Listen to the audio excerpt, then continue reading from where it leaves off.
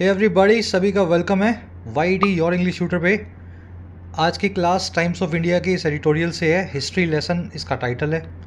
इस आर्टिकल में आप जानेंगे स्पेशल इकोनॉमिक जोन्स के बारे में, जिनको इंडस्ट्रियल सिटीज़ भी बोला जाता है। एक इकोनॉमिक कॉन्सेप्ट है, अगर आपके लिए नया है तो ज़रूर से आप सीखें इसको, समझें इसको। शुरू करेंगे इसको अपने क्विज़ के साथ में। बड़ा इंटरेस्टिंग और इन्फॉर्मेटिव आर्टिकल है, और उतना ही इंटरेस्टिंग आपका क्विज़ भी है। जो भी इस क्लास में आप सीखें क्लास के अंत में इस क्विज़ पे आपको अप्लाई करना है। अगर ठीक मन से क्लास आप लेंगे तो नौ में से नौ आपको नंबर मिलने चाहिए। ये आपका ऑब्जेक्टिव है। सॉल्यूशंस आपको क्लास के लास्ट में करवाएँगे। आइए पूरे मन से लेक्चर को शुरू करें।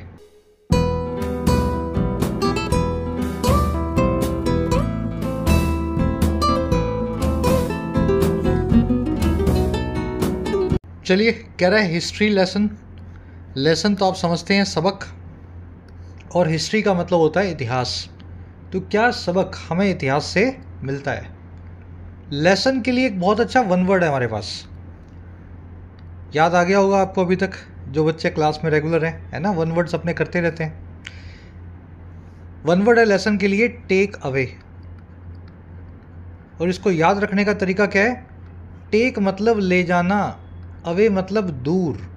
जिस चीज़ से आप कुछ चीज़ बाहर निकालें, जिस घटना से आप कोई सीख निकालें टेक अवे करें, वही आपका लेसन है, वही आपका सबक है। तो ऐसे आप इसको याद रखें। करे जी government of India's industrial cities plan will face challenges G O I government of India को बोलते हैं। कह रहे भारत सरकार का जी ओ आई का जो नया प्लान है इंडस्ट्रियल सिटीज़ का प्लान कह रहा ये प्लान फेस करेगा, सामना करेगा चुनौतियों का चैलेंजेस का। और कौन से challenges that other mega projects failed to overcome ये वही चैलेंजेस हैं दैट जो दूसरे ऐसे मेगा प्रोजेक्ट्स हैं, बड़े प्रोजेक्ट्स हैं। मेगा मतलब बड़े स्केल पे। जो दूसरे ऐसे बड़े प्रोजेक्ट्स जो थे पास्ट के, वो फेल कर गए, नाकामयाब रहे ओवरकम करने में, फतह करने में। किसी चीज़ को ओवरकम करना, किसी चीज़ पे पार पाना, फतेह पाना।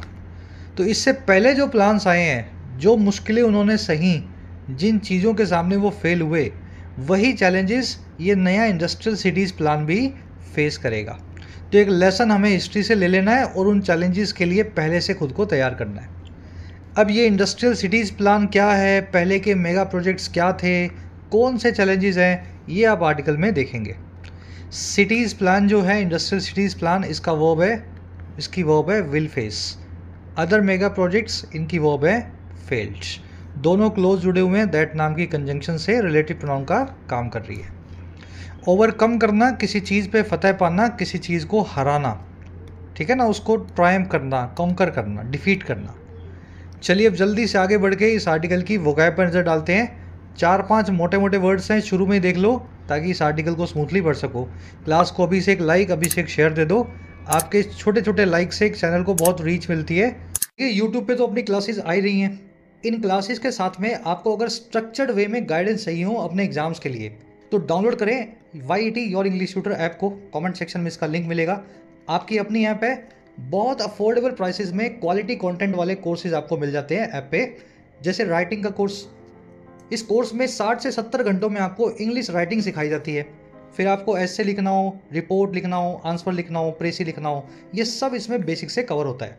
पचास हज़ार से भी ज़्यादा बच्चे इस कोर्स में इनरोल्ड हैं, फ़ायदा ले चुके हैं। इसी तरीके से आपको मिशन सिविल सर्विसेज़ कोर्स मिलेगा, जो कि राइटिंग कोर्स का ही बड़ा फॉर्म है।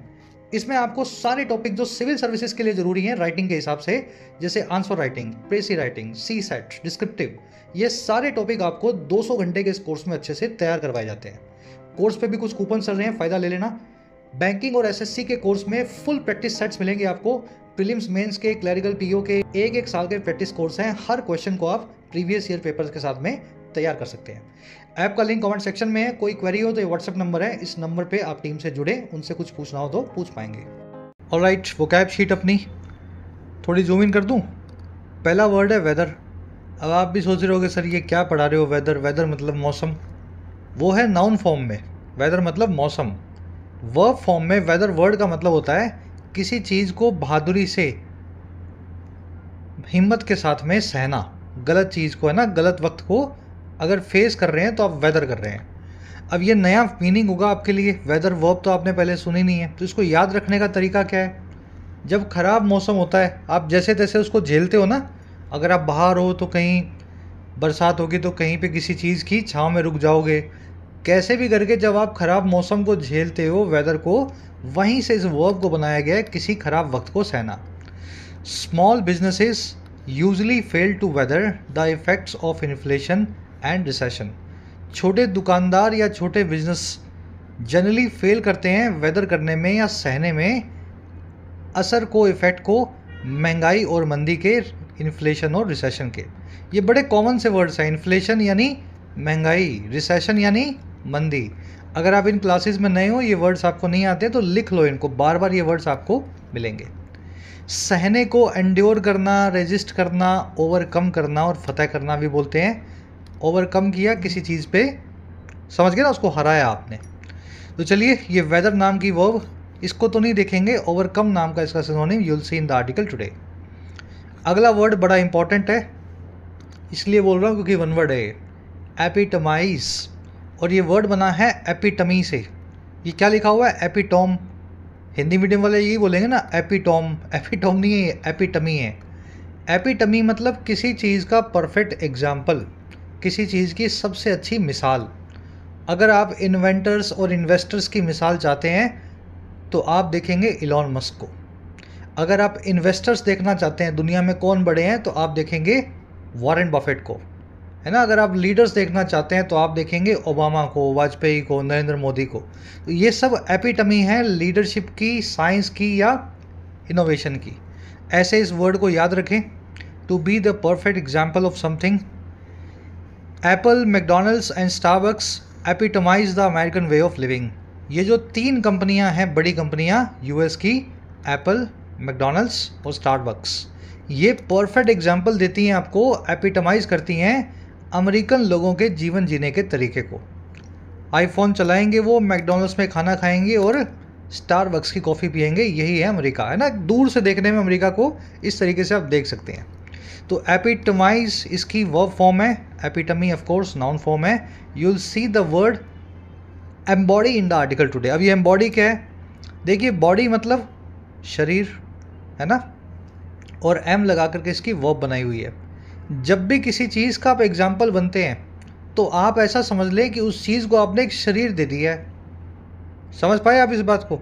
जैसे कोई बड़ा आदमी है लीडर है है ना? जो लीडरशिप का एग्ज़ाम्पल है एपिटमी है तो उसने लीडरशिप को एक शरीर दे दिया है। मतलब उस आदमी को देख करके आपको पता लगेगा कि लीडर्स ऐसे होते हैं। तो किसी चीज़ को मूर्त रूप देना, शरीर देना एम्बडी करना कहलाता है एपिटमी का सिनोनिम है। थोड़े कॉम्प्लिकेटेड वर्ड्स हैं, लेकिन ब्रेक करके समझो इनको हर वर्ड को कैसे बनाया गया है। चलिए अगला वर्ड है अशर इन, फ्रेजल वर्ब है। अशर वो आदमी होता है जो दरबान बोलते हैं जिसको अपने। सिनेमा हॉल में आपको मिलेगा जो आपकी सीट तक लेके जाएगा। होटल, रेस्टोरेंट्स में मिलेगा अगर आप अच्छी होटल में जा रहे हो किसी बड़ी में तो आपको आपके गेट से लेकर के सीट तक आपको जो है, आपकी टेबल तक आपको कंपनी करेगा। तो वो आदमी अशर कहलाता है जो आपको, समझ गए ना? कहीं नई जगह पे आप जा रहे हैं, वहाँ पे आपको गाइड करे। तो अशर इन करना, किसी चीज़ को नई चीज़ को लेकर के आना ब्रिंग इन करना इंट्रोड्यूस करना, और इसको कम अप विद करना भी बोलते हैं, क्योंकि किसी चीज़ को लेकर के आप आए हैं कम अप हुए हैं किसी चीज़ के साथ विद है ना सब connected the cold war ushered in या came up with a new era of nuclear weapons जो जो कोल्ड वॉर था शीत युद्ध था, वो लेकर के आया एक नए युग को, नए एरा को जो था न्यूक्लियर वेपन्स का। तो यूल सी द वर्ड और the phrasal verb come up with in the article today usher in किसी और क्लास में आ जाएगा, है ना? कनेक्टेड है इनको याद रखना। किक इन रिंग इन सभी इसके सिनोनिम्स हैं। चलिए लास्ट वर्ड है अपना इन्यूमरेट एक बार के लिए आँख बंद करो और इस वर्ड को बोल के देखो इन्यूमरेट इसमें कौन से वर्ड की झलक आ रही है? नंबर की आ रही है ना? संख्या की, आंकड़े की फिगर की। इन्यूमरेट करना किसी चीज़ को साफ़ शब्दों में फिगर्स के अंदर, संख्या के अंदर बताना। वो जो था ना, कितने आदमी थे, कालिया। तो वो जो कालिया को गब्बर ने बोला था कि इन्यूमरेट करके बताओ। एक थे, अनेक थे, दस थे, पाँच थे तो इन्यूमरेट करना, किसी चीज़ को क्लियरली नंबर्स में बताना। The report enumerates the incidents of child deaths ये रिपोर्ट आंकड़ों में बताती है उन घटनाओं को जो है चाइल्ड डेथ्स की।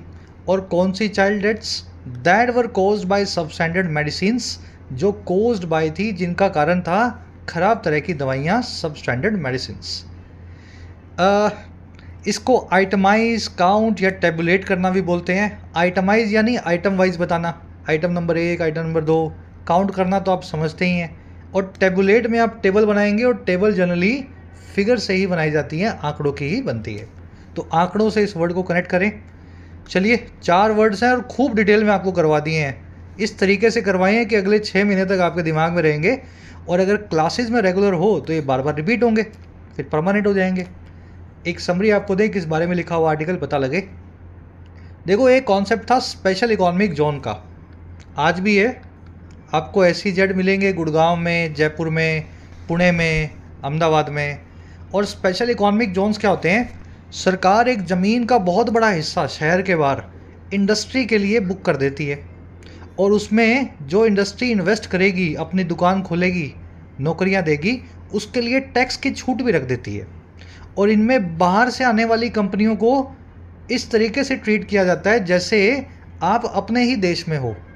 अगर कोई बाहर का बैंक स्पेशल इकोनॉमिक जोन में आकर के, मान लीजिए स्टैंडर्ड चार्टर्ड बैंक है, कहीं यूएस का, यूके का बैंक है किसी ऐसी जेड में काम कर रहा है तो उसको वैसे ही सुविधाएँ और टैक्स लगेगा, जैसे वो अपने देश में काम कर रहा हो। तो ऐसी सहूलियत सरकारें देती हैं ताकि देश में तरक्की हो, विकास हो इकॉनमी बढ़े आगे और जॉब्स क्रिएट हों। और इससे बाहर से आने वाली कंपनियों को भी एक प्रलोभन मिलता है अट्रैक्शन मिलता है देश में आकर के किसी भी कंट्री में इन्वेस्ट करने का। इन्हीं इंडस्ट्रियल सिटी इन्हीं ऐसी जेड को आजकल बोला जाने लगा है इंडस्ट्रियल सिटी प्लान इसमें एक सिटी बनेगी।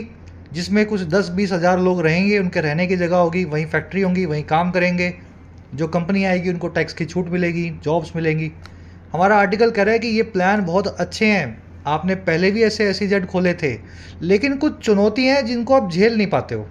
और वही चुनौतियाँ इस बार भी आपके सामने आएँगी, जब आप नया प्लान इंडस्ट्रियल सिटीज़ प्लान बना रहे हो। तो कान को हमने ऐसे से ऐसे पकड़ा घुमा के, पहले कुछ और बोलते थे, अब कुछ और बोलते हैं। रिश्ता वही सोच नहीं, है ना? तो आपको उन चैलेंजेस को भी पहले से प्लान कर लेना है। आज की टोन है ऑप्टिमिस्टिक एनालिटिकल और कॉशनरी ऑप्टिमिज्म दिखा रहा है नए प्लान के लिए एनालाइज कर रहा है सभी चुनौतियों को पास्ट को, और साथ में कौशन दे रहा है, चेतावनी दे रहा है कि आपको क्या करना चाहिए। चलिए शुरू करते हैं। कह the cabinet's decision to approve 12 new industrial cities with an investment of rupee 28,602 crore is impressive in intent कह रहा है जो कैबिनेट है कैबिनेट क्या होता है? मंत्रिमंडल इसको आप पार्लियामेंट भी बोल सकते हैं। कह रहे जो कैबिनेट है उसका जो डिसीज़न है पार्लियामेंट का कि अप्रूव किया जाएगा 12 नई इंडस्ट्रियल सिटीज़ को और कैसे? एक निवेश या इन्वेस्टमेंट के साथ इतने हज़ार करोड़ की लगभग साढ़े चार बिलियन डॉलर्स की। कह रहा है, ये डिसीज़न जो है इम्प्रेसिव है, बहुत ही अच्छा डिसीज़न है। इम्प्रेशन इसका बहुत अच्छा है। और कैसे? इन इंटेंट अपने इरादे में। तो इस डिसीज़न का इरादा देखें तो बहुत अच्छा है, बड़ी अच्छी सोच से बनाया हुआ डिसीज़न है।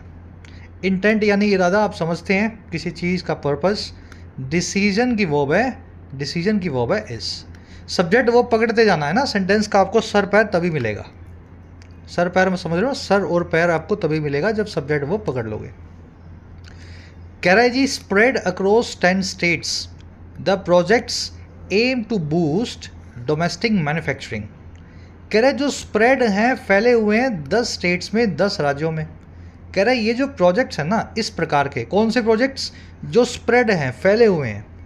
कह रहा जी, ये प्रोजेक्ट्स एम करते हैं कि बूस्ट करेंगे, बढ़ावा करेंगे डोमेस्टिक मैन्युफैक्चरिंग को, घरेलू मैन्युफैक्चरिंग सेक्टर को। और कैसे? By building greenfield cities build करके ग्रीन फ़ील्ड सिटीज़ को। अब ये ग्रीन फ़ील्ड सिटीज़ क्या होती हैं, आपको भी डिटेल में समझाऊँगा। इकोनॉमिक कॉन्सेप्ट है। तो ये सिटीज़ बना करके डोमेस्टिक मैन्युफैक्चरिंग को बूस्ट देंगे। और ये पूरा काम करेंगे कैसे ये?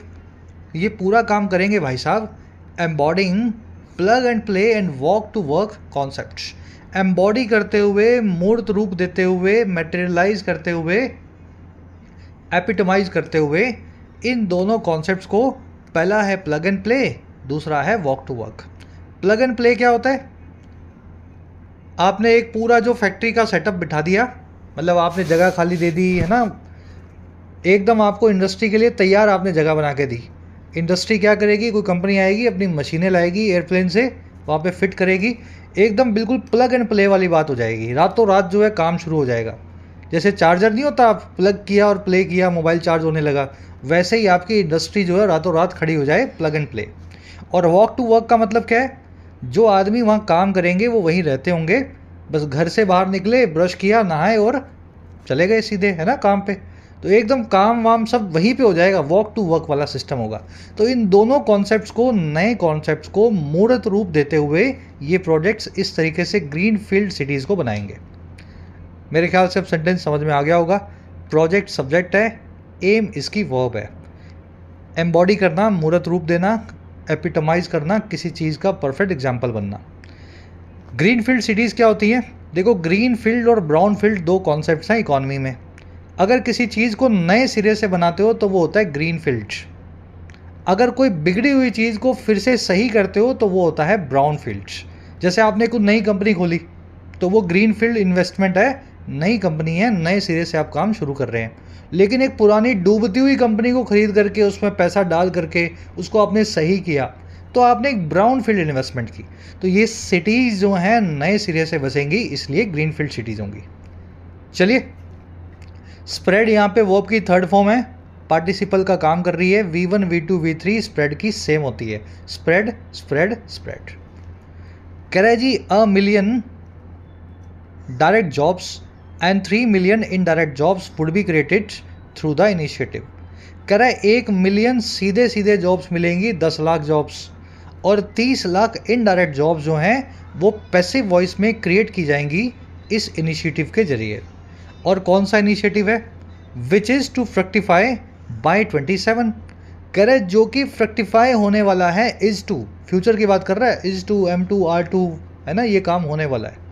रहे ये वही इनिशिएटिव है, वही कदम है, जो फल देगा फ्रक्टिफाई होगा, है ना? एकदम पूरा तैयार हो जाएगा 2027 तक। गवर्नमेंट हैज़ क्लेम्ड सरकार ने ऐसा दावा ठोका है। समझ गए? तो ये तीस चालीस लाख जॉब्स को क्रिएट कर देंगे अगले दो सालों में। जॉब्स की वर्ब है वुड बी क्रिएटेड विच की वर्ब है is is to am to are to बताते हैं आपके फ्यूचर के प्लान को। और वो वाला प्लान जो ये इनफॉर्मल स्ट्रक्चर है, इसको आप राइटिंग में कम यूज़ करते हैं, बोलने में ज़्यादा आती है। है ना? I am to go the president is to visit है ना? ये काम फ्यूचर में होने वाला है। फ्रेक्टिफाई होना, किसी चीज़ को फ्रूट लगाना। फल लगना, किसी चीज़ का एकदम तैयार हो जाना, पक करके ना फ्रेक्टिफाई कह रहा है follow up to a budgetary announcement the twelve cities would add to eight such cities कह रहे जी एक फॉलोअप जो है इस बजटरी अनाउंसमेंट के? बजट में कुछ अनाउंसमेंट्स हुई थी कि आठ बनाएँगे, सात बनाएँगे। उसके बाद में पीछे पीछे एक अनाउंसमेंट और आई फॉलोअप अनाउंसमेंट्स कह रहे उसके तौर पे ये बारह सिटीज़ जो हैं ये ऐड टू हो जाएँगी, जुड़ जाएँगी एट सच सिटीज़ से, ऐसी आठ शहरों से। और कौन से शहर हैं?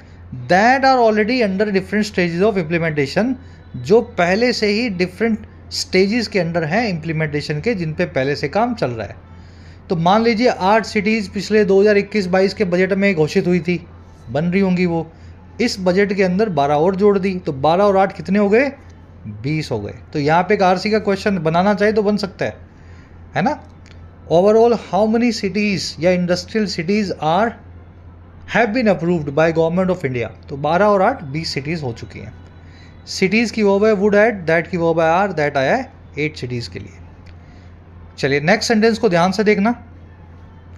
That some success has been achieved in investment terms at four industrial cities that are in place is a cause for optimism here कह रहे जी दैट यानी ये बात की, और या कौन सी बात? कि कुछ सक्सेस अचीव कर दी जा चुकी है, कुछ, है ना, थोड़ी सी सक्सेस हमें मिल चुकी है। और किसमें इन्वेस्टमेंट टर्म्स में, निवेश के रूप में। और कहाँ पे? चार सिटीज़ में। भाई, आठ तो बन रही हैं, बारह जुड़ गई। तो पुरानी वाली आठ में चार के अंदर कुछ सक्सेस हमें मिली है। कह रहे जी, वो सिटीज़ जो कि आर दैट आर हैं इन प्लेस अपनी जगह पे, जो अपने काम जिनका शुरू हो चुका है।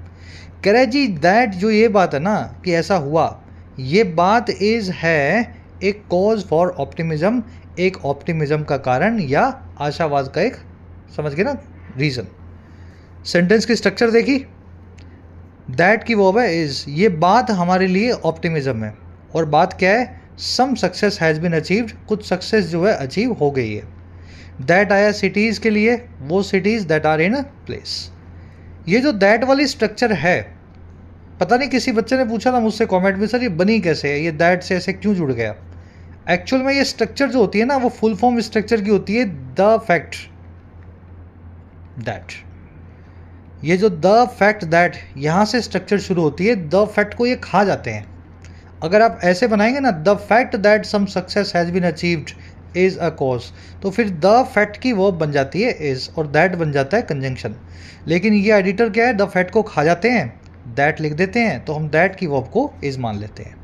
ऑप्टिमिज्म यानी आशावाद किसी चीज़ को लेकर के होप जी for instance Tatas announced a mega investment of ninety one thousand crore कह रहे अब चार की बात कर रहे थे, चार में इन्वेस्टमेंट आई है. तो कह रहे एग्ज़ाम्पल के लिए टाटाज ने अनाउंस किया है टाटाज मतलब टाटा ग्रुप टाटा सन्स जिसका नाम है। तो टाटा ग्रुप ने अनाउंस किया है एक बहुत बड़ी इन्वेस्टमेंट को नब्बे इक्यानवे हज़ार करोड़ की for a semiconductor fabrication unit at Dholera Dholera में एक फैब्रिकेशन यूनिट होगी सेमी कंडक्टर की अर्लियर दिस ईयर इसी साल की शुरुआत में। तो टाटा जो है ऑलरेडी सेमी कंडक्टर बनाने की कोशिश कर रहे हैं। ए एम डी या एनवीडिया पता नहीं कौन सी कंपनी के साथ में मिलकर के ढोलेरा में कर रहे हैं।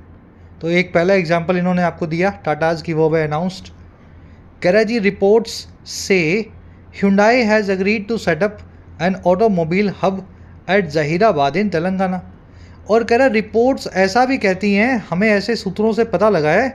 क्या पता लगा है भाई? कि जो हुडाई नाम की कंपनी है, कहाँ की हुडाई साउथ कोरिया की है। जो हुडाई नाम की कंपनी है, वो भी अग्री हो गई है सेटअप करने के लिए इस्टेब्लिश करने के लिए। एक ऑटोमोबाइल हब को टू व्हीलर और फोर व्हीलर के हब को जहीराबाद नाम की जगह पे तेलंगाना में। One of the cities green lighted on Wednesday जो ये जो वेंसडे को ग्रीन लाइट मिली हुई, हरी झंडी मिली हुई सिटीज़ में से एक सिटी है जहीराबाद। तो 12 जो सिटीज़ नहीं बनेगी, उनमें से एक में पहले ही इन्वेस्टमेंट आने का जो है प्रॉमिस हुंडाई से हमें मिल गया है कि हम यहाँ पे अपना एक हब बनाएँगे ऑटोमोबाइल का। रिपोर्ट्स की वो से हुंडाई की वो है हैज़ अग्रीड सेटअप करना इस्टेब्लिश करना किसी चीज़ को। सेटअप से बनने वाली, यानी सेट से बनने वाली पाँच फ्रेजल वर्ब्स ज़रूर याद रखें। Set up set in set out set aside और सेट फोर्थ स्क्रीनशॉट ले लेना, एक एक करके बता भी देता हूँ। सेटअप करना तो आपने देख ही लिया, किसी चीज़ को इस्टेब्लिश करना सिस्टम बिठाना। सेट इन का मतलब होता है किसी चीज़ की शुरुआत होना। सर्दियाँ शुरू हो गई तो winters have set in war शुरू होगी the war has set in generally negative चीज़ों के लिए यूज़ होता है। जैसे इन्फेक्शन कहीं शुरू हो गया तो इन्फेक्शन हैज़ सेट इन तो सेट इन जो है नेगेटिव चीज़ों की शुरुआत के लिए यूज़ होता है। सेट आउट करना, किसी जर्नी पे जाना। Set out for a world trip set out for a picnic जहाँ भी आप निकल रहे हैं ट्रिप के लिए, किसी जर्नी के लिए सेट आउट करते हैं। सेट असाइड का मतलब होता है किसी चीज़ को साइड में सेट कर देना। या तो वो आपके काम की नहीं है तो आप उसको डिस्कार्ड कर रहे हैं, खारिज कर रहे हैं। और या फिर वो बहुत ज़्यादा काम की है फ्यूचर के लिए सेव कर रहे हैं, उसको आगे के लिए बचा रहे हैं। समझ गए ना? सेट असाइड जो है, इसके दोनों ही मीनिंग्स हैं। जो काम का नहीं है, वो साइड में फेंक दिया, या बहुत काम का है, जो साइड में अलमारी में रख लिया। डिपेंडिंग ऑन द कॉन्टेक्स्ट आपको सही मीनिंग को यूज़ करना होता है। सेट फोर्थ या पुट फोर्थ सेट यानी पुट किसी चीज़ को रखना फोर्थ मतलब आगे। तो या तो आप अपनी व्यूज़ को एक्सप्रेस कर रहे हैं, अपनी ओपिनियन बता रहे हैं किसी को, या फिर आप खुद ही आगे जा रहे हैं, किसी जर्नी की शुरुआत कर रहे हैं। ये सेट आउट वाला मीनिंग भी दे देता है। ठीक है? आगे की तरफ़ जाना, या तो खुद जाना, या अपनी ओपिनियंस को, अपनी व्यू पॉइंट को किसी के सामने एक्सप्रेस करना। तो ये पाँच फ्रेजल वर्ब्स हैं। देख लो, इन्हीं में से कोई कभी ना कभी कहीं टकर जाएगी किसी एग्ज़ाम में। एग्ज़ाम में नहीं भी आए, कहीं रीडिंग के अंदर, कहीं आपकी अंडरस्टैंडिंग में तो बड़ी कॉमन सी हैं, सबको आनी चाहिए। चलिए आगे बढ़े नेक्स्ट पैराग्राफ पे। आगे कह रहे हैं, जी but the larger government agenda of boosting manufacturing has a left has left a lot to be desired कह रहे लेकिन जो लार्जर गवर्नमेंट का एजेंडा है, बड़ा एजेंडा जो है मैन्युफैक्चरिंग को बूस्ट करने का, उसने छोड़ दिया है बहुत कुछ जो अभी भी डिज़ायर्ड है, जिसकी अभी भी ख्वाहिश है। मतलब इस एजेंडा में बहुत ऐसी चीज़ें हैं, जो अभी हम चाहते थे हो जाएँ, लेकिन अभी तक नहीं हुई हैं। एजेंडा का मतलब होता है प्लान प्लान या एजेंडा की वो है हैज़ लेफ़्ट अब एग्जांपल देगा। कह रहा है make in India launch in 2014 with fanfare was meant to increase manufacturing share to of G D P to twenty five percent by twenty twenty five कह रहे जो मेक इन इंडिया था, अब देखो इसके लिए एडिशनल इंफॉर्मेशन दी गई है, जो लॉन्च हुआ 2014 में बहुत धूमधाम के साथ फ़ैन फेयर के साथ में। कह रहे ये मेक इन इंडिया प्लान जो था, ये भी मेंट था, इसका भी ये इरादा था। When something is meant to do something उसका ये मीनिंग या इरादा होता है। तो ये इसका भी इरादा था मेंट था ये डिज़ाइन था, कि ये इंक्रीज़ करेगा मैन्युफैक्चरिंग सेक्टर के शेयर को हमारी जीडीपी में 25 परसेंट तक, है ना? जीडीपी का 25 परसेंट मैन्युफैक्चरिंग को ले आएगा, जो 17-18 परसेंट रहता है। और कब तक ले आएगा? बाय 2025 2025 तक। And create 100 million additional jobs और 100 मिलियंस नई जॉब्स को भी पैदा करेगा 10 करोड़ नौकरियाँ लाएगा। लेकिन ऐसा हुआ नहीं। मेक इन इंडिया की वॉब है was it was meant to do these two things कह रहे those targets will not be met by next year कह रहे ये टारगेट नहीं मीट हो पाएँगे अगले साल तक 2025 तक, जैसा हमने सोचा था। कह रहे जी the earlier special economic zone और SEZ policy had also failed to achieve this objective its objectives कह रहे जी, इससे पहले वाली जो सेज पॉलिसी थी, मैंने आपको बताया था ना स्पेशल इकोनॉमिक जोन अब इसको इंडस्ट्रियल सिटी बोलने लग गए, बस नाम बदल दिया। कह रहे जी, पहले वाले नाम की जो पॉलिसी बनाई थी, वो भी फेल कर गई अचीव करने में अपने पूरे ऑब्जेक्टिव्स को। तो सारे ऑब्जेक्टिव्स नहीं हुए होंगे, हालाँकि बहुत ज़्यादा सक्सेसफुल जो सोचा था उतनी नहीं है, लेकिन काफ़ी सक्सेसफुल रही हैं। सेज अगर आप इसके बारे में डिटेल में पढ़ेंगे। कह रहे हैं how vigorously projects are pursued post announcements is a key factor here कह रहे जी, कितने विगरस विगर के साथ में विगर यानी जोश, कह रहे कितनी जोश, लगन के साथ में प्रोजेक्ट्स को परस्यू किया जाता है, उनको आगे बढ़ाया जाता है। अनाउंसमेंट्स के बाद में, घोषणा के बाद में। कह रहे ये जो चीज़ है, ये एक की फैक्टर है इंपॉर्टेंट कारण है यहाँ पे। तो अनाउंसमेंट अच्छी है, लंबी धूमधाम से अच्छा प्लान है, सब कुछ ठीक है। लेकिन जब बाद में उसको इम्प्लीमेंट किया तो उसमें जोश की कमी थी। उसमें आपने एनर्जी नहीं दिखाई। तो अगर कितना विग्रेसली आप उसको इम्प्लीमेंट या परस्यू करते हैं, वही सबसे बड़ा डिसाइडिंग फैक्टर होता है। प्रोजेक्ट्स की वर्ब है, आर परस्यूड, परस्यू करना, किसी चीज़ को आगे बढ़ाना, उसको पीछा करना, है ना, उसको, जैसे आप कोई डिग्री कर रहे हो तो आप डिग्री परस्यू कर रहे हो, एमबीए की डिग्री है, वकालत की डिग्री है है ना तो ये प्रोजेक्ट्स को जब सरकार परस्यू करती है तो इनको कवर करती है, इनको कंप्लीट करती है। विगरसली यानी विगर के साथ, विगर यानी जोश, ये पूरा जो क्लोज है, कितने जोश के साथ में ये काम होता है, ये पूरे क्लोज की वॉब है इज़ है ना, ये काम ही अपने आप में की फैक्टर है। ये पूरा कितने जोश के साथ हुआ। कह रहे there is also the larger issue of planning for the sector कह रहे जी, एक बड़ा मुद्दा भी है प्लानिंग का इस पूरे सेक्टर के लिए। और वो कैसे? कह रहे जी, वो ऐसे for instance we are yet to come up with a new industrial policy उदाहरण के लिए हम अभी भी कम अप करना बाकी हैं यट यानी बाकी हैं कम अप विद होना यानी लाना इंट्रोड्यूस करना। हमारी नई इंडस्ट्रियल पॉलिसी को आज के ज़माने के हिसाब से। वी की वर्ब है are we are yet to come up with अभी भी आना बाकी है। कम अप विद करना अशर इन करना इंट्रोड्यूस करना लॉन्च करना थ्रो अप करना किक इन करना रिंग इन करना। सारे फ्रेजेस वर्ड्स बताए थे ना आपको किसी चीज़ को लाना। कह industrial cities work best when plan alongside larger urban development of chosen sites industrial cities जो हैं वर्क बेस्ट करेंगी, सबसे अच्छे तरीके से तब काम करेंगी जब वो प्लान होती हैं, जब उनको प्लान किया जाता है और किसके साथ साथ? बड़े अर्बन डेवलपमेंट के साथ में उन चौजन साइट्स के।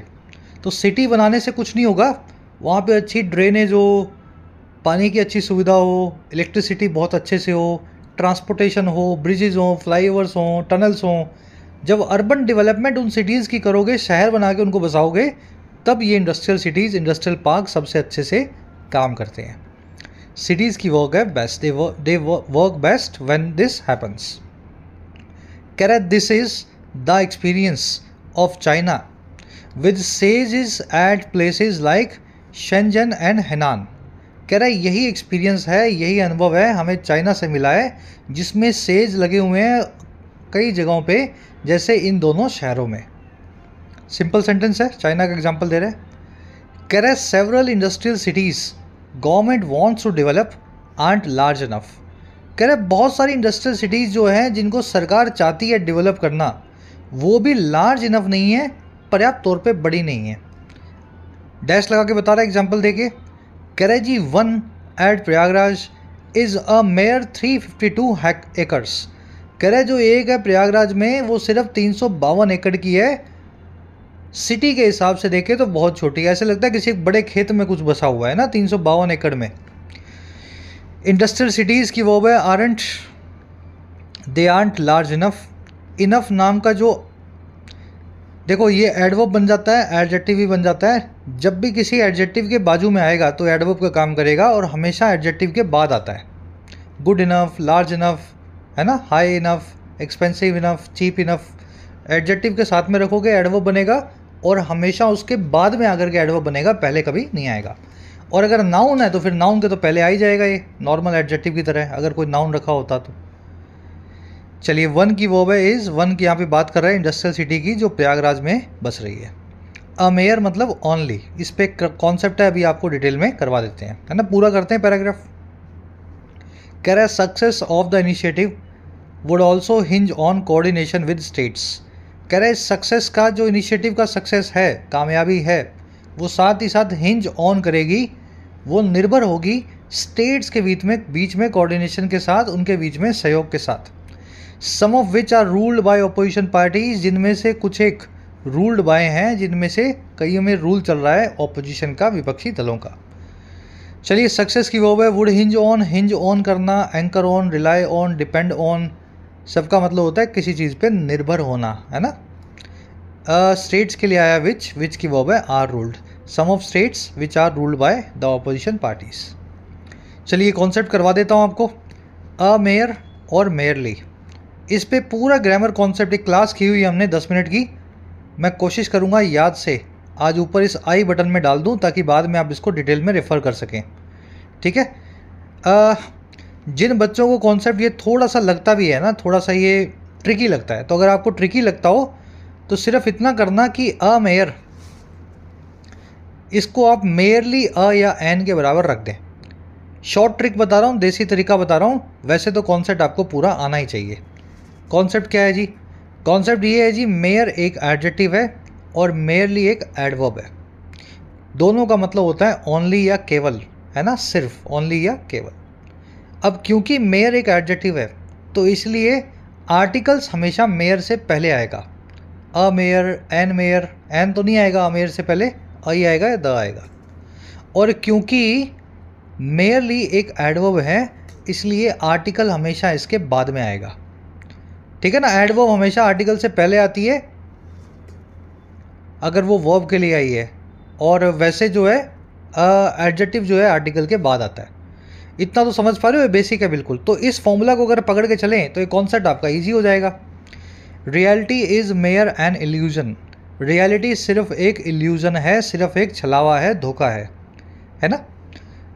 देखो मेयर लगा हुआ है, और उसके बाद में लगा हुआ है एक एड जो है एक आर्टिकल अगर मेयर नाम के एडजेक्टिव को यूज़ करना है तो आर्टिकल के बाद में यूज़ करना है। तो क्या करें जी, इस एन को यहाँ से उठाएँ और आप मेयर से पहले रख दें और लिखें रियलिटी, अब एन का बना देंगे अ अ मेयर इल्यूजन। समझ पाए इस बात को? अगर आपको मेयर यूज़ करना है तो लिखें अ मेयर, और अगर आपको मेयरली यूज़ करना है तो मैंने क्या बताया, अ मेयर को मेयरली अ भी बोल सकते हैं। तो आप यहाँ लिखें अ मेयर की जगह पे मेयरली अ। चाहे देसी तरीके से चलें, चाहे पूरा टेक्निकल तरीके से चलें सोल्यूशन वही निकलेगा, दोनों ही तरीक़ों से। दोनों सेंटेंसेस सही हैं। Reality is a mere illusion या reality is merely merely a illusion चलो, अ एन को देख लेना, यहाँ पे एन बन जाएगा क्योंकि इल्यूजन लगा हुआ है आगे आई लगा हुआ है। Next sentence merely words can't put food on the table सिर्फ़ शब्द जो हैं टेबल पे खाना नहीं ला सकते। कुछ कमाने के लिए आपको कुछ करना पड़ेगा, बातों से कमाई नहीं होगी, है ना? Put food on the table करना, कुछ कमा के लाना, खाना खाना बनाने के लिए। देखो, सिर्फ़ शब्द शब्द एक नाउन है और नाउन के लिए एक एडजेक्टिव आएगा। मेरे लिए तो एडजेक्टिव है ही नहीं मेरे लिए तो एडवर्ब है। तो क्या कर सिंपल सा काम मुझे करना है, यहाँ लिखना है मेयर वर्ड्स जब भी एडजेक्टिव की ज़रूरत हो एडवर्ब नहीं लगेगी तो उस केस में चुपचाप जो है एडजेक्टिव को मेयर को लगा दें ordinary people mere think how they shall spend their time man of talent use it आम आदमी सिर्फ़ यही सोचता रहता है कि मैं वक्त कैसे गुजारूँ, कैसे अपना टाइम स्पेंड करूँ। जो आदमी टैलेंट वाला होगा, वो सिर्फ़ ये सोचेगा नहीं, बल्कि टाइम को यूज़ भी करेगा। वक्त काटेगा नहीं, बल्कि वक्त का फ़ायदा भी लेगा। है ना? Man of talent use it तो क्या करें भाई? देखो, सिर्फ़ सोचना, सोचने नाम के एक वर्ब के लिए एक एडवर्ब की ज़रूरत है। वर्ब को सिर्फ़ एडवर्ब मॉडिफाई करेगी, यहाँ मेयर नाम का एडजेक्टिव मॉडिफाई नहीं कर सकता। तो यहाँ पे आपको मेयरली लिखना पड़ेगा। It takes mere twenty minutes to reach the station इस काम में हमें लगे सिर्फ़ बीस मिनट स्टेशन पहुँचने में। स्टेशन पहुँचने में सिर्फ़ बीस मिनट हमें लगे। मेयर के बाद में ट्वेंटी मिनट्स लिखा हुआ है। खाली खाली बीस मिनट की बात हो रही है। अगर आपको कोई नंबर मिल जाए, फिर सुन लो, कोई आंकड़ा मिल जाए तो उस आंकड़े से पहले या तो आप लिखें अ मेयर और या फिर लिखें मेयरली ठीक है? तो ये थम रूल की तरह बता रहा हूँ आपको रूल ऑफ़ थम है कोई भी आंकड़ा मिल जाए और सिर्फ़ लिखना हो, सिर्फ़ बीस मिनट, सिर्फ़ दो सौ रुपये सिर्फ़ चार घंटे, सिर्फ़ पाँच किलोमीटर तो a mere twenty rupees merely twenty rupees a mere five kilometres merely five kilometre a mere four hours merely four hours ये फॉर्मूला याद रखोगे तो आपका मोटा मोटा काम बन जाएगा। थोड़ा कॉम्प्लिकेटेड कॉन्सेप्ट है, एक दो बार इसको रिवाइज कर लेना, अलग से एक वीडियो है। यहाँ कोशिश करता हूँ आज अभी आई बटन में डाल देता हूँ। लास्ट क्वेश्चन दे रहा हूँ आज हेमवर्क एज होमवर्क आपको। We humans are mere the instruments of fates हम ह्यूमंस सिर्फ़ इंस्ट्रूमेंट्स हैं सिर्फ़ ज़रिया है नसीब का। नसीब को जैसे खेलना होता है वो खेल लेता है हमारे हमें ज़रिया बना करके। कोशिश करो इसको बनाने की। आ, देख लेना आर्टिकल की पोजीशन क्या है और क्या यूज़ करूँ मैं। मेयर लिए लगाऊँ मेयर लगाऊँ आर्टिकल पहले या आर्टिकल बाद में। कमेंट्स में डालना, सही और गलत आपको वहीं कमेंट्स में बता देंगे। चलिए लास्ट पैराग्राफ है, दो तीन सेंटेंसेस में। कह जी besides there is the all important issue of front linkages for infra that is created कह रहे इसी के साथ में सबसे इंपॉर्टेंट इशू एक और भी है, जो है इन्फ्रा के फ्रंट लिंकेज का, जो इन्फ्रा क्रिएट हो रहा है। फ्रंट लिंकेज का मतलब क्या होता है? आपने इंफ्रास्ट्रक्चर ऐसा बनाया कि वहाँ पे कोई रेलवे का डब्बा बनाने वाली कंपनी आ जाए, जो रेलवे की बोगियाँ बनाए। इंफ्रास्ट्रक्चर तो ऐसा बनाया। लेकिन आपने कंपनियाँ जो बाद में आई, वो बनाएगी वहाँ पे जहाज़। समझ पा रहे हो आप? अगर जहाज़ बनाने वाली कंपनी वहाँ आएगी तो वो इंफ्रास्ट्रक्चर सारा का सारा समंदर किनारे होना चाहिए था। तो इंफ्रास्ट्रक्चर पहले सोच के बनाया जाता है, कौन सी कंपनी यहाँ आएगी, उसको फ्रंट लिंकेज बोलते हैं। कंपनियों से बात की जाती है। कि तुम आओगे यहाँ कार बनाओगे? तो कार बनाने के हिसाब से इंफ्रा बना दे तुम्हारे लिए। तो ये फ्रंट लिंकेजेस का ऑल इंपॉर्टेंट इशू भी हमारे सामने रहता है। हमारी प्लानिंग बहुत ख़राब होती है। इशू की वर्ब है इज़ इंफ्रा के लिए आया दैट दैट की वर्ब है इज़ क्रिएटेड कह रहा है while government has enumerated sectors in which it seeks will companies companies be coming कह रहा है, इस काम के लिए फ्रंट लिंकेज के लिए जहाँ गवर्नमेंट ने इन्यूमरेट कर दिया है टेबल बना के डिटेल दे करके आंकड़ों में बता दिया है उन सेक्टर्स को, जिसमें ये इन्वेस्टमेंट सीख करेगी, जिसमें ये कंपनियों को बुलाएगी निवेश करने के लिए। कह रहे जहाँ सेक्टर सरकार ने बता दिए हैं। कह रहा लेकिन सवाल ये है कि क्या वो कंपनियाँ भी फोर्थ कमिंग होंगी, आगे से आएँगी अवेलेबल होंगी? सरकार तो बोल रही है कि इस कंपनी को बुलाएँगे, इसको बुलाएँगे। क्या उस सेक्टर से कंपनियाँ वास्तव में आना चाहेंगी? ये भी तो एक सवाल है। गवर्नमेंट की वो है हैज़ इनोमरेटेड इट की वो है सीक्स इट आया सरकार के लिए। कंपनीज़ की वो है will be will be forthcoming चलिए, ये क्वेश्चन पूछा हुआ है, इसलिए हेल्पिंग वर्ब को सब्जेक्ट से पहले रखा हुआ है। कह रहा है investments investment by Indian companies is yet to pick up कह रहे इन्वेस्टमेंट जो है, भारतीय कंपनियों के द्वारा अभी भी उसका पिकअप होना बाकी है, उसका ज़ोरों से आना बाकी है। पिकअप होना यानी किसी चीज़ का इंटेंसीफाई होना।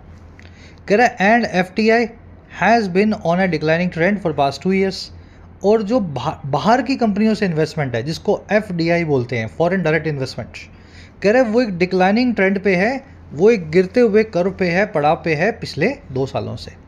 तो भारत की कोई कंपनी बनाए तो उसको लोकल इन्वेस्टमेंट बोल देंगे डोमेस्टिक इन्वेस्टमेंट और अगर बाहर से कोई हुंडाई आ जाए, कोई फोर्ड मोटर्स आकर के प्लांट लगाए तो उसको बोलते हैं फॉरेन डायरेक्ट इन्वेस्टमेंट तो दोनों ही डिक्लाइनिंग कर्व पे या ट्रेंड में चल रही हैं। Creating infra is sound policy but a change in investment climate is a must कह रहा इंफ्रा को क्रिएट करना बड़ी अच्छी पॉलिसी है। लेकिन एक चेंज एक बदलाव, निवेश के माहौल में लाना वो एक मस्ट है, एक बहुत ज़रूरी चीज़ है। If policy is to translate into results अगर पॉलिसी को ट्रांसलेट करना है रिजल्ट्स में, इसको सही नतीजों पे पहुंचाना है है ना? ये इन्वेस्टमेंट क्लाइमेट के आगे एक दो पैराग्राफ्स और भी थे जो मैंने छोड़ दिए क्योंकि आर्टिकल लंबा हो जाएगा। उसमें बताया हुआ है सरकार कभी भी कोई टैक्स लगा देती है नया। कंपनी ने हज़ारों करोड़ लगा के प्लांट लगाया, सब कुछ शुरू किया काम, और सरकार बोलती है कल से ये नया टैक्स लगेगा आप पे। तो कंपनियाँ इसलिए कतराती हैं इंडिया आने से कि इनका तो कुछ पता ही नहीं है। इन्वेस्टमेंट क्लाइमेट इनका बड़ा अस्थिर है, बड़ा चेंजेबल है। तो वो एक दो पैराग्राफ्स मैंने निकाल दिए हैं। चलिए क्लास को रैपअप करते हैं। आ जाओ फ़र्स्ट क्वेश्चन पे। इनमें से कौन सी टोन जो है आर्टिकल की आप बता सकते हो ऑथर की आपके हिसाब से होनी चाहिए। Optimistic cautious pessimistic and critical neutral and disinterested enthusiastic and hopeful industrial city initiative को लेकर के हमारा आर्टिकल किस टोन में बात कर रहा है? देखो जी, बड़ा ऑप्टिमिस्टिक है, बड़ी आशावाद दिखा रहा है, लेकिन सावधानी भी दे रहा है चेता भी रहा है कि पिछले वाले प्लान्स की मुसीबतें इस प्लान में ना आ जाए। तो आंसर बनेगा जी ऑप्टिमिस्टिक बट कॉशियस। खुद से ट्राई देते रहा करो, साथ में वीडियो को पॉज कर लिया करो। ठीक है? चलो। नेक्स्ट क्वेश्चन है जी। ऑथर क्या कहना चाहता है इस स्टेटमेंट के ज़रिए कि एक change one change in investment climate is a must if policy is to translate into results इस बात का आसान भाषा में क्या मीनिंग्स है? कोशिश करो निकालने की। खुद से एक बार।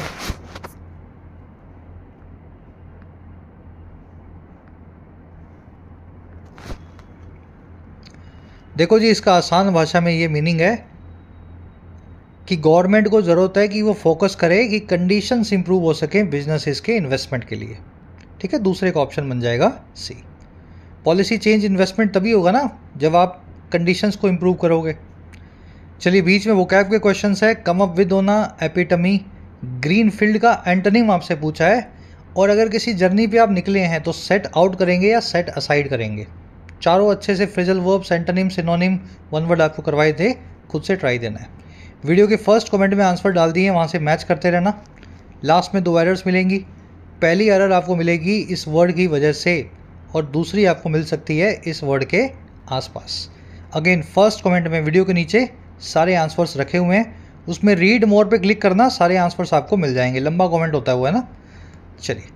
चेक करके बताना कितने मार्क्स मिले आपको आउट ऑफ़ नाइन दो मिले, नौ मिले, पाँच मिले, चार मिले। क्लास कैसी लगी आज की? कुछ नया सीखा हो पूरी देखने वाले बच्चे क्लास पीडी लिख देना सर पूरा देखा। और अगर सब समझ में आया तो पी आई लिखना सर इंटरेस्टिंग भी लगा। ये आपका फीडबैक देने का तरीका है। हर सेशन के बाद ज़रूर से दिया करो। चलिए अनटिल देन कल आपसे होगी मुलाकात। कल आपसे लेंगे मुलाकात कल की क्लास में। जिन बच्चों को कोर्सेज की ज़रूरत है एक्स्ट्रा क्लासेस की ज़रूरत है you can take the benefits of the courses application को डाउनलोड करें वाई टी ऐप को, आपको राइटिंग का एसएससी का और बैंकिंग का इनफैक्ट यूपीएससी का भी कोर्स मिल जाएगा। अफोर्डेबल कोर्सेज है, मेहनत करना चाहते हैं तो ऐप को डाउनलोड करें कमेंट सेक्शन में लिंक रखा गया है you can take the benefit चलिए अंटिल देन साइनिंग आउट